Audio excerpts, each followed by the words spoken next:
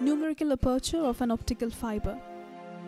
It is a measure of how much light can be collected by an optical system such as an optical fiber or a microscopic lens. The numerical aperture is related to the acceptance angle theta a, which indicates the size of a cone of a light that can be accepted by the fiber. One way of measuring the numerical aperture of the fiber is to fill the fiber with light and measure the characteristics of the light leaving the fiber. The fiber output is a cone of light that spreads out wider as the distance from the fiber exit increases.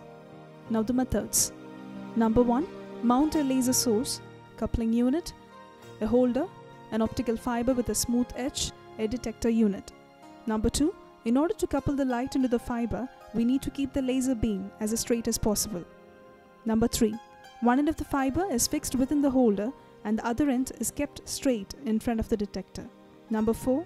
The distance between the fiber end and the detector should be within 1 to 5 mm and it should be the same throughout the experiment. Number 5. Light passes through the coupling unit through the fiber and it illuminates at the end. 6. The detector is then scanned horizontally and measure the distance with a screw gauge. Number 7. Plot the graph between each points of the detector scanned in the x-axis and its corresponding maximum intensity of current in the y-axis. Number 8.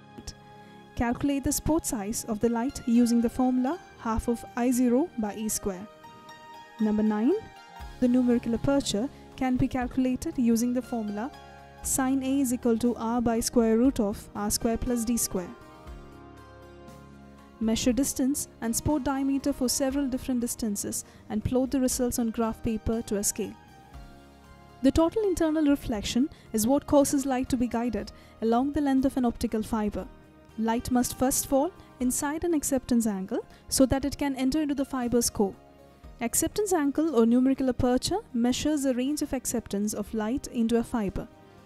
The angle over which a fiber accepts light depends on the refractive indices of the core and cladding glass.